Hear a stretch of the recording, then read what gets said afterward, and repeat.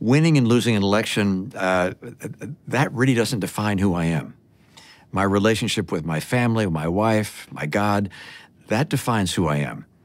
And, and so losing is not as hard as people might expect in a circumstance like that. Uh, again, in politics, uh, you don't control the outcome necessarily. Things happen that, that you wouldn't have expected. But if you define yourself by how much money you make, or whether you get promoted, or whether you win an election, you're bound to be disappointed.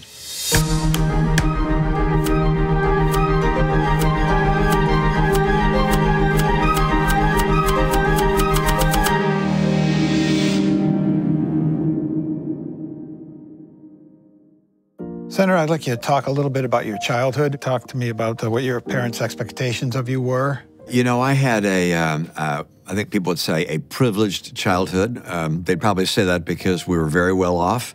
Uh, I'd say that because I had two parents that loved me, uh, a brother and two sisters that cared for me. They were older than I was. My family had a strong faith tradition, and so I had a sense of purpose. My parents gave me the kinds of values that they thought would be enduring.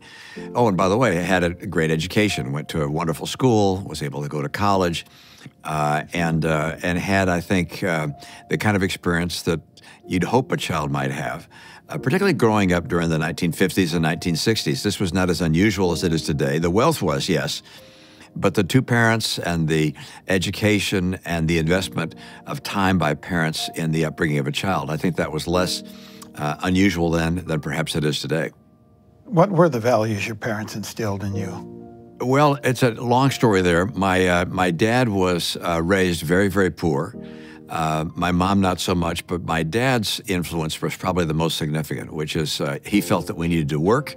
So I had jobs all during uh, high school, uh, the summer jobs, that is. And then at the home, uh, I mowed the lawn, and it was a big lawn. Uh, the driveway was never plowed professionally. My dad and I shoveled the snow, and it was a long driveway. We planted the flowers in the spring. We didn't have a, a landscaping company take care of things around the house. We did that ourselves. And then we were involved in the community. My dad had me collect signatures for ballot initiatives that he thought were important. Uh, and, um, uh, and then there was our church, which is, uh, it, it, was uh, a small church relative to others in our country, the Church of Jesus Christ of Latter-day Saints or Mormon church. You know, my friends were Catholic or mainline Protestant, and I belonged to a little church. I was the only one in my school that belonged to that church. Uh, and so I grew up very comfortable with the idea of being different, not quite like everybody else. Uh, and that's a little uncomfortable, but you get used to it. And um, I think if you're different in important ways, uh, that can make a difference in your life. So those are the kinds of values that I learned uh, early on. Who was your father and what was his role in politics? My dad, George W. Romney, was born in Mexico uh, of an American family living there, uh, came to the United States when he was about five, and uh, ultimately became a governor of the state of Michigan, a member of the cabinet under Richard Nixon. He was the Secretary of Housing and Urban Development, uh, made some changes that I think improved our housing market. He was devoted to civil rights. Uh, that was his passion uh, as a secretary, and I believe he made a difference there. When you entered your own private sector career, did you, a lot of those lessons that you remembered from your dad, did you employ them in your private sector career? Well, you know, when you go into uh, to a job, everything uh, gets thrown up in the air. Uh, it becomes an entirely uh, new experience. You feel overwhelmed and underprepared. Uh, you wonder whether you're going to be successful at what you're doing or not. Um, the private sector for me was a, a, huge departure from just going to school. I'm sure it's true for others as well. I wasn't thinking so much about uh, values and principles as, as instead just how I could be successful and do a good job. My dad used to say that the key to being successful in any occupation is doing your present job well and not focusing on what the future might be or what the problems are with your enterprise. Just do the job as well as you possibly can. And I had a number of summer jobs. I tried different things. I had a law job working for a law firm. I worked at Chrysler Corporation, big corporation. Didn't like either one of those. Uh, I got the chance to go into a consulting firm which uh, was in many respects right down my alley. You know, I like solving problems, tough problems, and that's what consulting did. And I got the chance to work in an environment where I solved tough problems day after day. was compensated for doing that, uh, and rewarded with the success of feeling like you've accomplished something and found an answer. But I think the thing I'm most proud of from a private sector standpoint was helping uh, create a new entity called Bain Capital. Was a venture capital and private equity firm. It still is. Uh, and uh, this came at a time when uh, the markets were looking for new ideas, and we had some, and we applied the kind of uh, thinking and approach to problem solving that we had used as consultants uh, to create a new enterprise. Uh, I was able to select the team. There were about 10 of us as we started off.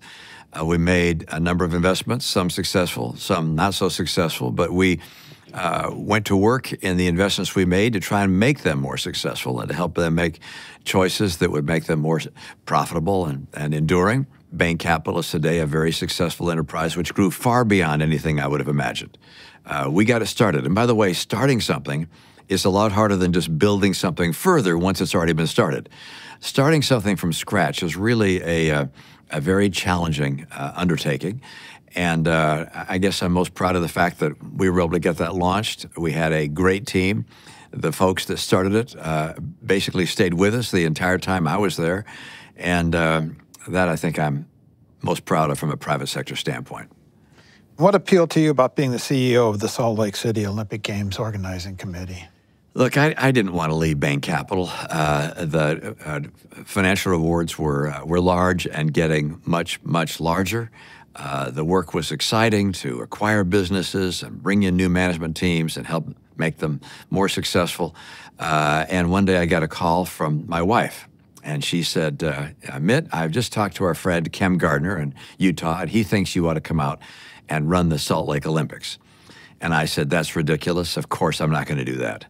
And she said, I want you to give some thought to it. And I said, By the way, why did he call you instead of me?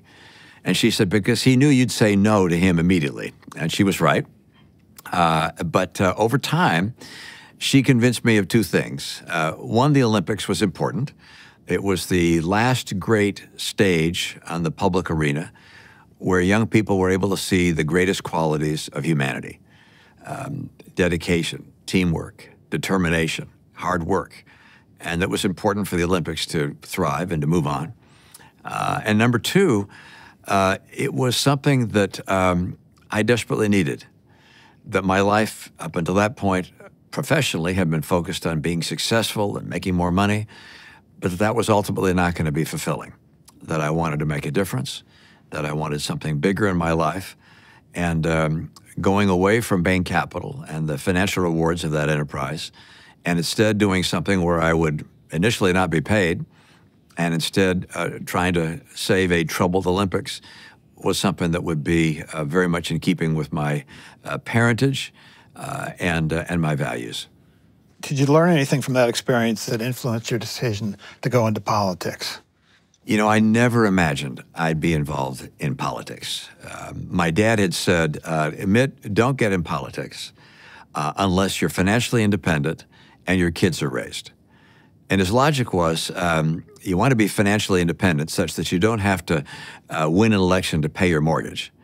And number two, you don't want your kids to be young and growing up and think that their dad is someone special because he's got some political job. I never imagined I'd become financially independent, but Bain Capital became far more successful than my imagination. And uh, I didn't imagine my kids would ever grow up, but ultimately they did. Uh, and so I didn't get into politics until quite late in my career. Uh, I was at the Olympics, uh, enjoying my experience there, and I had a dinner right before the closing ceremonies with Peter, Peter Ueberroth, who'd been the CEO of the Olympics in Atlanta, and uh, and he was now on the board of Coca-Cola. And I said, "Look, I'm." I'm being asked to consider running for governor of Massachusetts. What do you think? And he said, You know, I made a mistake. When the window was open to get in politics, I didn't jump through it. And he said, I, I wish I had.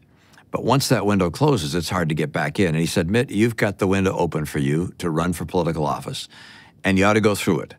Because if not now, you'll never get the chance again, most likely. So uh, I decided to take the plunge, to get involved in politics, to run for governor of Massachusetts. My hope was that I could make a difference in people's lives, and that my experience in the private sector and at the Olympics in helping build great teams and make the right decisions would be good for the people of my state.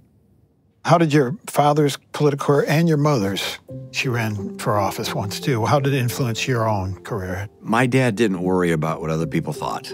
Uh, he had his own values, his own perspectives. Uh, he knew what he believed was right, uh, and he said it forthrightly. In some respects, that got him in trouble politically. Um, my mom was more attuned to what other people thought about her, but I, I followed more my dad's path in that regard. And, uh, and, and while we're all interested in whether we're popular and whether people like us and whether they agree with us, um, I, I, think I'm a little more comfortable with being, uh, if you will, out on a ledge myself than perhaps the average politician and uh, and I learned that from from my dad, and to a degree from from my mom. She she got involved in a race. She ran for uh, Senate in in Michigan against Phil Hart, a very popular Democrat, and she had to know that the likelihood of her success was not very high. But she thought it was important for our party, the Republican Party, to stand up to the, uh, she believed, the mistakes of the Democrat Party at that time, and uh, and put herself out there, and got in the middle of the uh, the arena uh, as Teddy Roosevelt once quoted or once said, and. Uh, uh, and so that was um, that was part of my, if you will, the heritage that I learned from them, and and launched my my effort politically. What achievement as governor are you proudest of? You know, I came into Massachusetts thinking that the the issue I would face would be primarily a fiscal challenge. Uh, the uh, budget was not balanced, uh, and, and, I wanted to find ways to uh, get our budget balanced without raising taxes on people and driving businesses away. Uh, but I wasn't in the office very long until a friend of mine, the founder of Staples, the office superstore, Tom Stemberg, came to see me. And he said, Mitt, if you really want to change people's lives and help people in Massachusetts, you'll find a way to get everybody health insurance. And I laughed and said, Tom, that's just not possible. I mean, I have to raise taxes on everybody. Uh, that's that just not, doesn't make sense. And he said, "Well, you're a smart guy. Put your mind to it. See if you can find a way to get everybody health insurance." I began thinking about it. It, it um, crept under my skin, if you will, and I, uh, I spoke with my colleagues about it. My secretary of HHS, Health and Human Services, said, you know, that's just not going to happen. But uh, one of the people that I had on my team, Cindy Gillespie, who'd helped me at the Olympics, um, she said, you know, maybe there's a way. And we began thinking about uh, solutions for this problem and found a very unusual circumstance in Massachusetts, and that was we were giving hundreds of millions of dollars a year to hospitals that were caring for the poor and the uninsured. And the idea was we'd take that same money and instead of giving it to the hospitals, we'd use it to subsidize uh, the purchase of health insurance for people that didn't have health insurance and couldn't afford it. And we wondered, would the, the, the funds be enough to actually get everybody insured? And sure enough, they were. And so we were able to put in place a health insurance plan that, uh, that got everybody in Massachusetts health insurance. And we did it without having to raise taxes or cut vital benefits for others. Uh, and by the time my term had ended, I think 97% or so of Massachusetts citizens had health insurance. Um, and uh, that's probably what I'm most proud of. It became a uh, model for other states to follow. And uh, to some degree, I think Barack Obama followed it with Ted Kennedy uh, for the nation with Obamacare. I would have rather had states craft their own plans because I think there's some big differences between states. But the need for people to have health insurance and to get good health um, uh, care uh, is something I, I believe I'm most proud of. You lost a few races. You lost a, a, Senate run and two presidential races. Is it difficult to, to, get over those kind of defeats? Did it take you a while? And what advice would you give other candidates about dealing with that kind of disappointment? You know, I think um, I, I don't know. I can't speak for other people, but but my dad's life was not defined by um, by winning or losing elections his life was as big as his faith and uh, his passion for the country uh, and his family. That's what he lived for. I likewise have lived my life for my family, for my wife Ann. But look, the most important thing to me in, in my life is that Ann is happy, uh, and that my kids are happy, and and that the, my faith is is uh, thriving and, and well, and that the country is strong. I mean, those are the things I live for. If you define yourself by things you control your relationship with others, your relationship with your God. These are things you control. And, uh, and your success is measured by things you determine. not by things determined by others. You've never managed to let any disappointment, stop you from trying again, which is so you're quite persistent, I would say. What made you decide to run for the U.S. Senate? I didn't expect to run for Senate. Uh, when my race for president in 2012 was over and I'd been beaten by President Obama, uh, you know, I, I, retired from public life, I thought entirely and forever, uh, and was enjoying myself back in the private sector. Uh, it, it's a little frustrating not to be as engaged as I had been when I'd been a governor and when I was running for president. Uh, but, um, you know, I happened to get a call from Orrin Hatch, the senior senator from Utah asked to meet with me. Uh, we met at a Marriott hotel. He handed me two sheets of paper, and on it, he had laid out why he thought I ought to run for Senate uh, and, and, take his seat. And uh, that is not something I'd even given a thought to. He was a Republican in my party. I presumed running for reelection. I thought he was coming to see me to, about a fundraiser for him. But uh, I began to give it some thought. And, and, frankly, it was a little tire- tiring being on the beach. Uh, I'm not a great golfer, so that certainly wasn't going to be my future. And uh, and being engaged at a critical time was something that drew me in. One to, to confront some of the challenges we face, but number two, and perhaps even more compelling at that point, was my concern that uh, uh, that we might face a constitutional crisis of some kind. Uh, I, I, recognized in Donald Trump a uh, a very great departure from what the Republican Party had been in the past. Uh, I was concerned about where he might take the country and what kind of crisis there might be. And I felt that we needed more people of sober judgment and, uh, uh, and, and, serious mindedness in, in D.C. Uh, thought that I qualified in that category and, and that I might be needed to make a difference. Has the experience of serving in the Senate met your expectations? Uh, you know, I, I, knew what I was getting into in the Senate. Uh, I, am not necessarily made to be a senator, uh, but I did for a long time work as a management consultant. And as a management consultant, you don't call the shots. You try and convince other people uh, to do what you think in, in their best interest. Uh, so I'm I'm used to not always being the the top dog, uh, and and I knew that in the Senate as a junior senator. I would not be the top dog. I wouldn't get my way, but I'd be collaborating with others. And uh, something unusual happened in the Senate. Uh, and that is that uh, just by happenstance, Lisa Murkowski invited me to a, a, dinner during COVID, a dinner at her home. We each had uh, takeout food, uh, and uh, we sat in her living room. There were, I don't know, eight or 10 of us, and half Republicans, half Democrats. We began talking about a COVID relief package because the president and the Speaker of the House were at loggerheads. And uh, we came up with what we thought was the right idea. We got our colleagues to accept a pretty similar proposal that got passed. And this group of uh, five Democrats, five Republicans kept on meeting. And we were able to take on infrastructure. We looked at gun legislation, uh, religious liberty, uh, the Electoral Count Act, one thing after the other. Uh, and this little group, even though it was outside the committee structure, not subject to the committee chairs being able to move legislation or to negotiate. We were instead this group of our own, this little rogue group of about 10 people, and one topic after another we took on and got bills passed. That doesn't happen very often. Um, a couple of the senators, I think it was uh, uh, Senator Susan Collins of Maine, she said, Look, in all my years in the Senate, I've never had so much fun. And I think made a difference for the country. I, I sure hope so. But uh, but the Senate has been far more rewarding, in part because of that group that came together, and and it was led by a number: Joe Manchin, Kyrsten Sinema on the Democrat side, uh, Rob Portman on our side, Susan Collins on our side. Those were the leaders. I was part of that group, uh, and uh, enjoyed the experience a great deal. What's the least appealing aspect of the Senate? Uh, look, all of us um, want to do the right thing but personal interest, self interest, getting reelected, uh, sometimes can uh, lead us to rationalize decisions which we may, in our heart of heart, recognize are not entirely in the national interest. That's probably the most frustrating thing in, in our political system.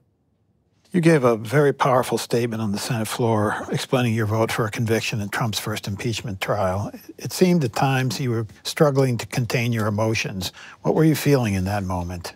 There's no question but that the um, impeachment of Donald Trump was a, uh, a, a, difficult time for me and I believe for our country. Uh, I did not want to vote to convict Donald Trump. I recognized that the consequence for me, uh, personally and politically, uh, could be extraordinarily severe uh, if I were to vote to convict. So I did not want to convict. Uh, at the same time, I recognized the human tendency to want to rationalize what's in your best interest and knew that I would try and rationalize not voting to convict. And so from the outset, I made a concerted effort to try and uh, uh apply reasonable justice uh, and, um, and to, uh, to put aside personal interest. And so I took careful notes of each day's deliberations, uh, tried to draw conclusions from each day, uh, keep an open mind to the extent possible. And as we got closer to the decision day, uh, I went through a timeline, considered all of the evidence, and weighed this uh, the way I hope jurors generally weigh a vote of guilt or innocence, and came to the inescapable conclusion that Donald Trump was indeed guilty of uh, withholding weapons from Ukraine for the purpose of a, a political uh, means. That is something I did not want to see happen.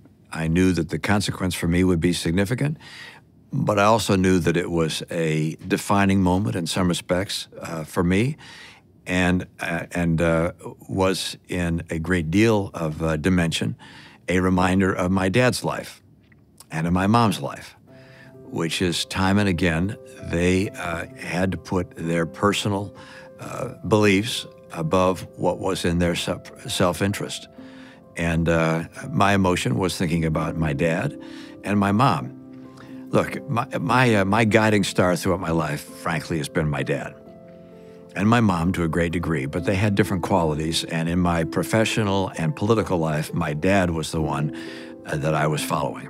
During the debates, I would put his name at the top of my, my notepad and circle it uh, to remind myself that I, I had a, a, a, measure of integrity to follow. And, uh, and as I was speaking on the floor, explaining my vote to convict Donald Trump, uh, I thought of my dad and hoped that he would have the occasion to look down and see that his son, while had not entirely measured up to my dad's example, but I was endeavoring to do so at that moment. How do you balance your career aspirations with your family, your responsibilities to your family? Look, for me, family and faith uh, come first, and and uh, that has been uh, tested uh, for me time and time again. Uh, and uh, I have made decisions that um, uh, are in keeping with that. I, I, uh, I, guess that's because I found the most rewarding part of my life is my relationship with Ann uh, and my kids. Uh, and my, my commitment to my faith. They, they don't fail. Those things are there for me. I, I, I'm not disappointed in my family or my faith. If I had a sense of personal accomplishment based on what happens politically from day to day, gosh, I'm not sure what my stock would be at this point. But because um, I, I, measure my life accomplishment by virtue of my uh, faith in God and my uh, uh, faith in my family, my love for, for my family and the, my friends, uh, I'm able, able to uh, feel that my life has been okay. Any career choices you made your family didn't agree with? You know, it's a funny thing. I, I, I can't think back on a time when my family disagreed with uh, what I was doing. Uh, I, I, think there may have been some uh, some uncertainty about whether I should run for Senate or not. I, I don't entirely uh, remember, uh, but uh, look, I've I've never gone a different direction than Ann uh, has thought was right. she has been my life counselor. And, and, and she has a much better judge of character and people than I do. She senses right away when people are phony. Her assessment of uh, whether someone is a person of character or not is uh, uh, virtually flawless. flawless. Uh, I'm more likely to get taken in, and uh, and so I go to her. Uh, for her thoughts, I followed her advice. Now, now and then, I you know will disagree and we'll we'll battle it out and and and and but come to a meeting of the minds. And I, I don't think there's ever been a time when I made a decision she disagreed with. Can you tell me about Ann? Who is she? How did you meet? Yeah, I met Ann uh, before she got a chance to meet a, a, number of better looking, more athletic, more intelligent other guys. Uh, she was 15 we went on our first date. She was a sophomore, I was a senior in high school. Uh, I fell uh, immediately for her. She was very standoffish. Uh, and uh, sort of pushed me away, dated other people from time to time, which drove me crazy. Uh, I became more and more um, uh, focused on her, intent on winning her, uh, her love and affection. Uh, as time went on, that became reality. before I'd graduated from high school, I'd asked her to marry me. She said she would. Uh, I said, I don't want to go on a mission for my church, which was next in line for me. And she said, You'll regret that and resent me all your life if you don't go on a, on a mission for your church, as your dad and grandfather have. So I went on my mission. Uh, when I came back from my mission, two and a half years later, I was still very much in love, as I had been. On the car ride home from the airport, I asked her if she'd marry me. Uh, she said yes, and we got married just a couple of months later. So we've been in love ever since. It's not that we always agree. We disagree. Uh, we, have had, you know, uh, arguments, but we don't fight. I never really had a fight with her. People say, "Oh, that's just not real. He's he's not authentic," you know.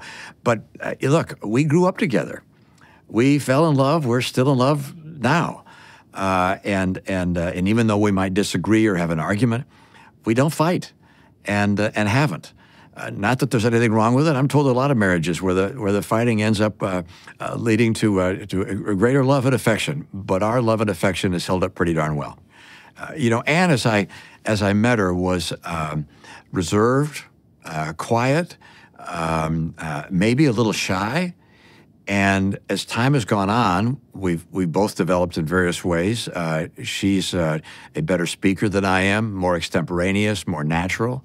She's an extraordinary person, a visionary, a leader, and a person I'm very deeply in love with. I remember in your acceptance speech when you were not won the nomination, you told a very affecting story about your dad and a rose and your mom. Would you mind sharing that here? Oh yes, um, yeah. My uh, my mom and dad had a uh, an unusual love story, not unlike my own. Uh, my mom and dad fell in love in high school. And uh, my mom was educated. She had a, a, career in Hollywood. And my dad uh, uh, did not have a college degree, fell very badly in love with my mom. And uh, once they were married, he'd get a rose somewhere and bring it and put it in a vase by her bedside, such that when she woke up, there's a fresh rose every morning. And uh, that was the case throughout their marriage. Uh, on the day he passed away, she woke up and there was no fresh rose in her vase and she immediately recognized something was wrong and uh, got out of bed and went in the room where the treadmill was and found that my dad had passed away. Uh, so a long family heritage of uh, commitment to, uh, to one another. As a son, can you tell me about witnessing your parents getting older and, and eventually dying? Yeah, it's not fun getting older. Um, my dad was 88, and, uh, and I said to him, um, you know, what, what is the most rewarding thing in your life? And, uh, and I thought about the fact that he had turned around a car company, American Motors. Uh, its stock price went from roughly $7 a share to over $90 a share when he was CEO. Uh, he was elected three times as governor of Michigan, uh, was a cabinet secretary. I mean, so I thought, what, what was the most rewarding, most exceptional part of your life? He didn't hesitate at all. He said, the most rewarding part of my life was helping raise you four kids me, my brother, and two sisters. And he said, and your mother deserves most of the credit for that. Uh, so even at age 88, uh, he knew what was most, meaning, most meaningful to him. But he also said at age 88, uh, you know, it's a funny thing. I'm the same person inside I was during my 20s and 30s. I look on the outside and, and see what's happened to my body and recognize that people see me differently, but I'm not a different person. I'm who I was before. And it's strange uh, to get older and to get old. And there's no question it is. I'm uh, uh, you know, I'm 76 right now, and uh, you know the aches and pains and the various uh, indignities that we go through as we get older have been visited to me as they have on others. Seeing it happen to my mom and dad was particularly difficult. My dad passed away first. My mom passed away about a year later. Uh, she really uh, was in failing health, but both of them, fortunately, had full mental capacity uh, and mostly physical capacity till the very end and uh, they were they were blessed with a an active and meaningful life. Do you fear death? Do I fear death? I, I don't want it. I want to stay forever. I don't want to leave. This could be a very interesting time. The emergence of China as the world's largest economy is going to be interesting. Uh, the the uh, tumult China goes through is going to be revealing. AI uh, presents a threat and an opportunity, a threat of unmeasured proportion, uh, an opportunity of a similar dimension. Uh, I want to see where that's going to go. I let to see what's going to happen with the Earth, how we're going to deal with all these challenges. Our climate change, what is that going to mean? Huge migration of people. I, I, I think it's going to be a very interesting time, even more interesting over the next 25 years than over the past 25 years. So I want to be here for it, but I won't be. So I don't want to go. Uh, I want to stay, but that's not in the cards. Uh, so, uh, you know, my life expectancy is what? Uh, I'm, I'm 76, so maybe 10, 12, 13 more years. Uh, hope longer than that, but, you know, you can go at any time. Are you optimistic about the future of America? Um, I'm realistic about the future of America, and we will make choices that will make all the difference. Uh, that which gives me the greatest optimism is the elixir of freedom. Freedom allows America to outcompete anyone else in the world. Our system, the rule of law, our financial system, our educational system, uh, the dedication of our people to, to one another, all of these values, American values, if you will, combine uh, with freedom to allow us to outcompete the world. And that's what gives me my optimism. Um, the area that gives me concern is we become highly divided, subject to demagogues on both sides of the aisle, uh, and uh, there's a jealousy, a resentment, an anger, which is growing into America. I don't know where that goes. If for some reason we don't welcome innovators and reward innovators and encourage them to thrive, uh, then we could find ourselves being overtaken by, uh, uh, you know, by some of the world's worst actors. Uh, the, the Xi Jinping and Putin and, and, and others, Iran, North Korea, China, Russia, represent a whole different way of life that would be unimaginable for me, for my kids and grandkids to live in. Uh, and so uh, uh, we're, we're going to make those choices. We got to throw off the demagogues and go back to the principles and values that have made us the hope of the earth. Uh, I, I, believe the American people will do that.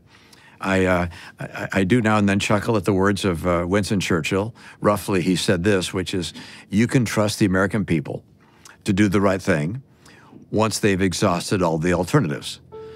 And right now, we're exhausting a very unfortunate alternative, which is divisiveness and demagoguery. Hopefully, we'll get back to the kinds of uh, vision and passion we saw in Alexander Hamilton, John Adams, George Washington, uh, Thomas Jefferson, uh, the founders of this great land.